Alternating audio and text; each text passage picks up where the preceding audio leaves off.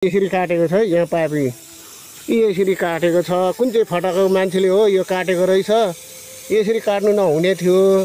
यो सबैले यो अभियान चलाएर समाधान गरेर हरेक गरेर दुःख गरेको पानीलाई यसरी काट्छ। यसरी काट्नु नहुने हो।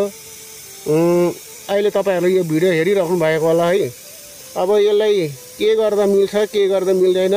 अब नगरकै हाम्रो साथीभाइहरूले यसमा चाहिँ यसको कुरा चाहिँ ध्यान जाओस् है। म यही भन्न चाहन्छु। पानीको धारा ल्याएर काट्ने अपराधी हो। तिमीहरूलाई त्यसरी नि अब मान्छेले मार्छन्।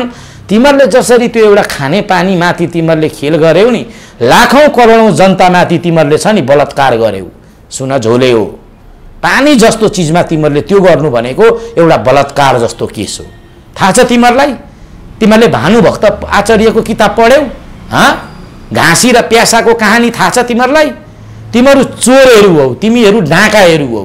तिमीहरू अपराधीले त हर्क साम्पाङको रिसमा त्यो धरानका लाखौँ मान्छेले खाइराखेको पानीको धारो खाने तिमीहरू राम्रा मान्छे हौ। तिमीहरू यहाँ सुन खुन छादेर तिमीहरू मर्छौ। तिमीहरूलाई हेर जल्ने ठाउँ पनि हुँदैन तिमीहरूलाई गाड्ने ठाउँ पनि पाइँदैन। यो कुरा तिमीहरूले विचार गर तिमीहरूले। आज जसरी त्यो हर्क साम्पाङका आँसु भुइँमा झरेका छन् नि त्यो आँसुले तिमीहरूलाई सरापेन भने याद गर।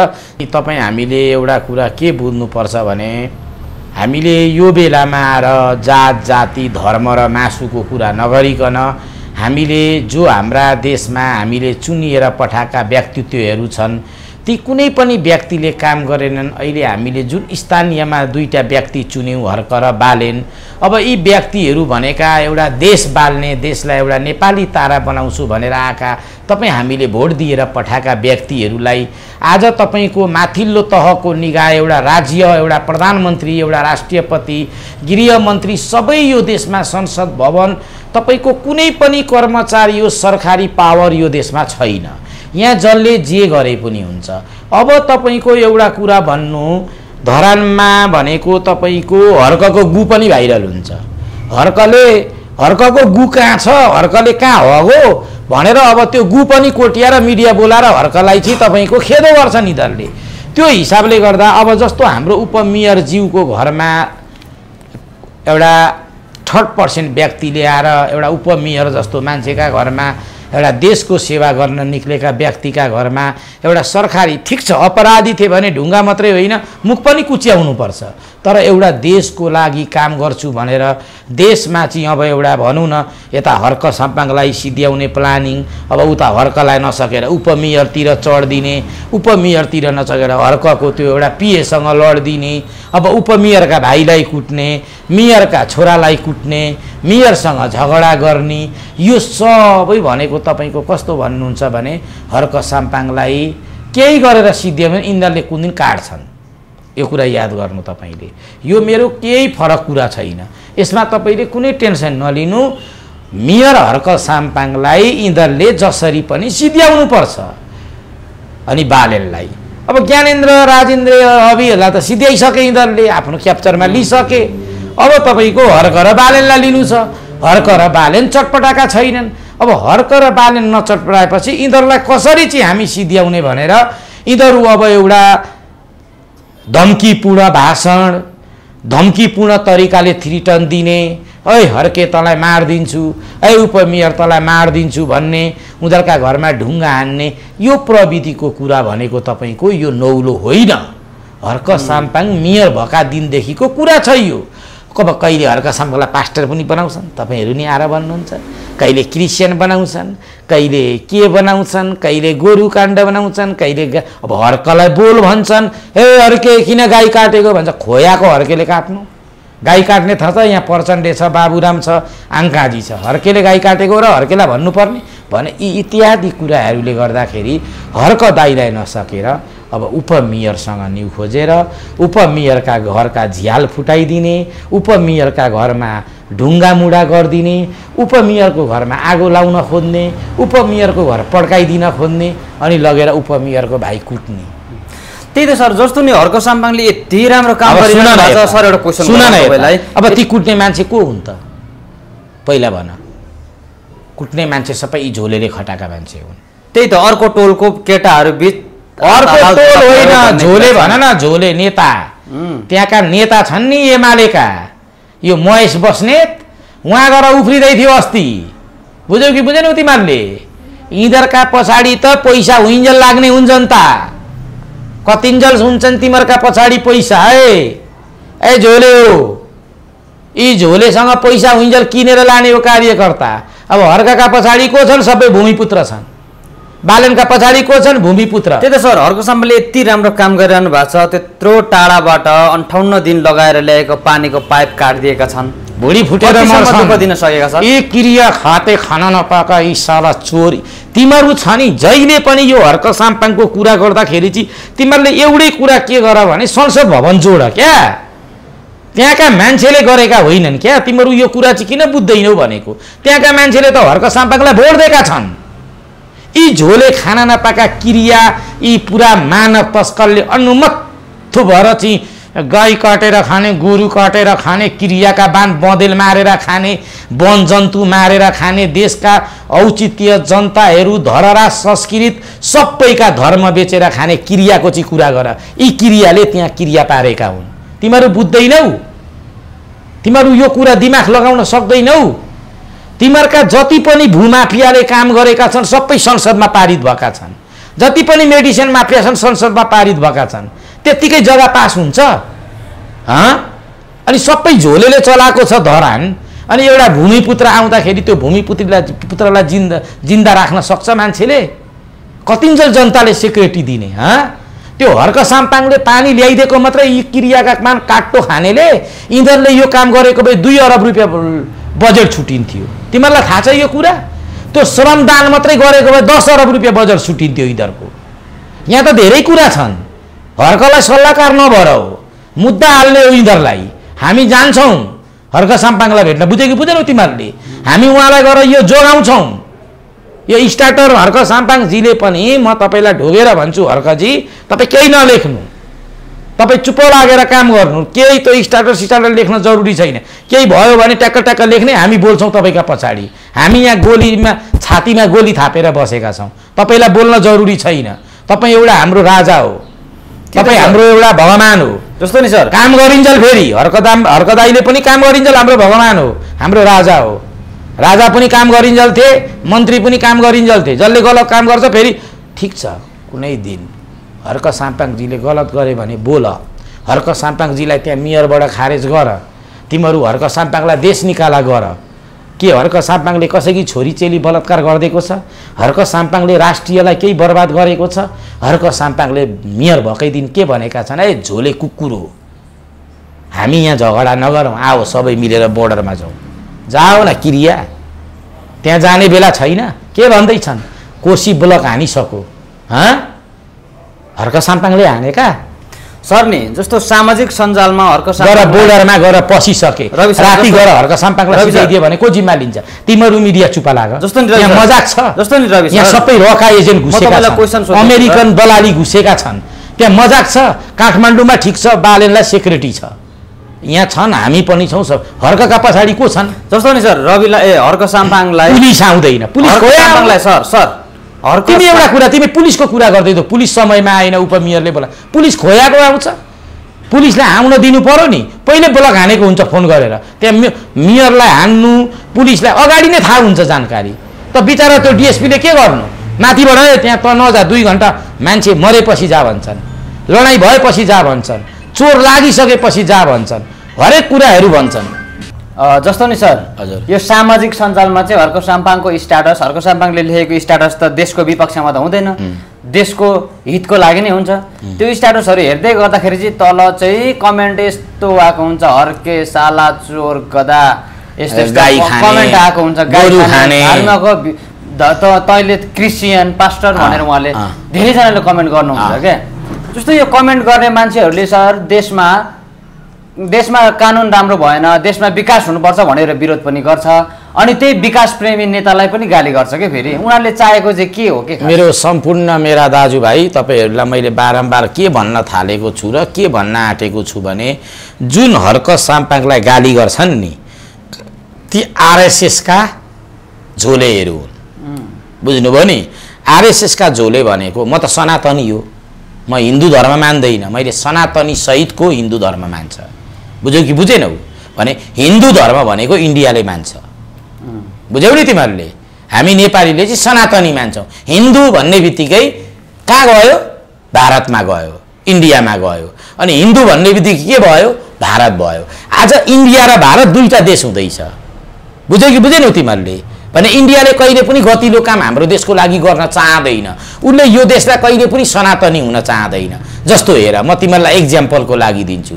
हिजो यो सडकमा कमसेकम लाखौँ हजारौँ मान्छे चाहिँ भेला पारेर ज्ञानेन्द्र साई र राजेन्द्र लिङ्गदेनले एमसिसीको बारेमा बोलेनन् डराए। कानपट्टिमा राखिसकेको छ उनीहरूलाई। उनीहरू बिकिसके। उनीहरूको एक्सन फेरि एउटै छ हिन्दू धर्म। त म बारम्बार भन्दैछु उनीहरूको राजनीतिको। अब यी राजनीतिकका व्यक्तिले हर्क साम्पाङलाई गोरु खाने लेख्छन् गाई खाने लेख्छन् यी भनेका चाहिँ कस्ता हुन्छन् भने यी आइसीमा बिकेका हुन्। म तिमीलाई भन्छु। हाम्रा देशमा दुई थरीका व्यक्ति छन्। एउटाले डलर पाउँछ एउटाले आइसी पाउँछ। बुझ्यो कि बुझेनौ भने यो देश चलेको छ डलर र आइसीले। अब हर्क साम्पाङले के चलाउँछन्? हर्क साम्पाङले नेपाली नोट चलाउँछन्। हामीले के चलाउँछौँ? नेपाली नोट चलाउँछौँ। हर्क साम्पाङ के हो? हर्क साम्पाङ वायुलाई मान्छ। हर्क साम्पाङ सनातनी। उसको संस्कार किराँत। उसको वेशभूषा किराँत। अनि हर्क साम्पाङलाई नसिध्याए कसलाई सिध्याउने अब तिमीहरूको यही तरिका हो भने याद गर देश सुहा पार्दैछ हिन्दू धर्म भारतले। जस्तो अस्ति एकजना बाबाले पनि के भन्नुभयो भने अस्ति एउटा बाबाले पनि के भन्नुभयो भने अब हामी हिन्दू धर्म बनाउनुको हिन्दू धार्मिक मुलुक बनाउनुको लागि हामी- विदेशबाट पनि भारतबाट पनि हामी सहयोग हिन्दू धर्म भन्ने बित्तिकै उनीहरूले भारत बनाउने हुन् नेपाललाई पनि। बुझ्यौ कि बुझेनौ तिमीहरूले? हिन्दू धर्म कहाँको? भारतको। हाम्रो होइन। हिन्दू धर्ममा लडाइँ छ। हामी को हो? हामी सनातनी हो। हामी कहाँ छौँ? हामी गौतम बुद्ध जन्मेको देशमा छौँ। बुझ्यौ कि बुझेनौ? हामी कहाँ छौँ? सीता मैया जन्मेको देशमा छौँ। भने हामी के हौ? हामी सनातनी हौ। त अहिले तिमीहरूको जति पनि यो किरा समूहलाई लडाइँ गराएको छ इन्डियाले गराएको छ। किन गराएको छ भने यता भिड्दै गर्छन् म जनकपुर लान्छु। किराँतलाई मतलबै छैन गौतम बुद्ध लगेको।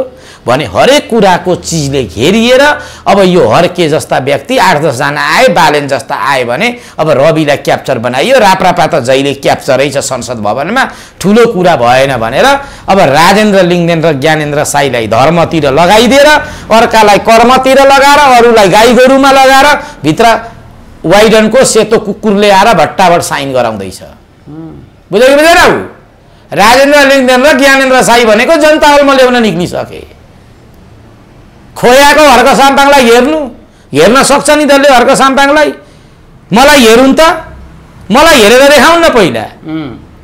हर्क साम्पाङलाई हेर्नुभन्दा अगाडि मलाई हेर्नुपर्छ यिनीहरूले बालेनलाई हेर्नुभन्दा अगाडि मलाई हेर्नुपर्छ सर हर्क साम्बाङले त्यस्तो टाढाबाट खाना नपाएको खाएकै हुन्। खुवाउँदाखेरि नि धरानलाई खुवाउँदाखेरि पाइप काटिदिनु। स्टार्टअप लेख्नलाई चाहिँ मलाई भन्न देऊ न यिनीहरूले मुख छा मुखबाट खुनबाट मुखबाट छादेर मर्छन्। यही हर्क साम्पाङको र हिन्दू धर्मको कुरा गर्दाखेरि मेरो टिकटक ब्लक हुन्छ। यी चोर आउँछन् यी हिन्दूवादीहरू आउँछन्। भने हामी सनातनीलाई कहिले पनि सिद्ध्याउन सक्दैनन्। किराँतीको छोरो आएको छ एकतिरबाट अर्कोतिरबाट मधेसीको छोरो आएको छ अर्कोतिरबाट कुमाई बहुल आएको छ। तिमीहरूले यो कुरा बुझ फेरि। जबसम्म रविरत्न चुडालको अगाडि क्यामेरा तेर्सिन्छ नि सबसम्म म यिनीहरूको क्रिया पारिदिन्छु। यी धतुरे चोरहरू पाँच हजार दस हजार रुपियाँ लिएर यिनै चोरका हिन्दू धर्म र आरएसएसका आइसी खाएर अनि हर्क साम्पाङलाई स्टार्टर लेख्ने अपराधी हो। तिमीहरूले आफ्नी आमा बेचिसक्यौ तिमीहरूले आफ्नो बाउ बेचिसक्यौ। खोयाको हर्क साम्पाङ हर्क साम्पाङ भनेको प्योर सनातनी हो। तिमीहरू अगर यो कुरा पत्याउँदैन भने आओ मसँग हिँड धरान। म हर्क साम्पाङ के हो तिमीहरूलाई म देखाइदिन्छु। याद गर। हर्क साम्पाङको के छ? हर्क साम्पाङको बानी ठिक छ।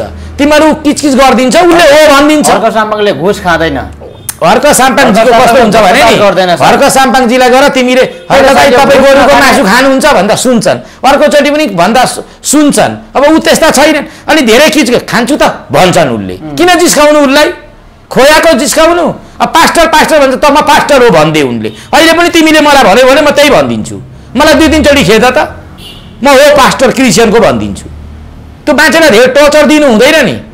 जनताले काम गर्न पर्दा खोयाको कसलाई दुःख दिएको छ उसले दुनियाँ मान्छेलाई बिहान राति उठाएर श्रमदान गराएर साला देश बनाएर पानीको धारा ल्याएर काट्ने अपराधी हो। तिमीहरूलाई त्यसरी नि अब मान्छेले मार्छन्।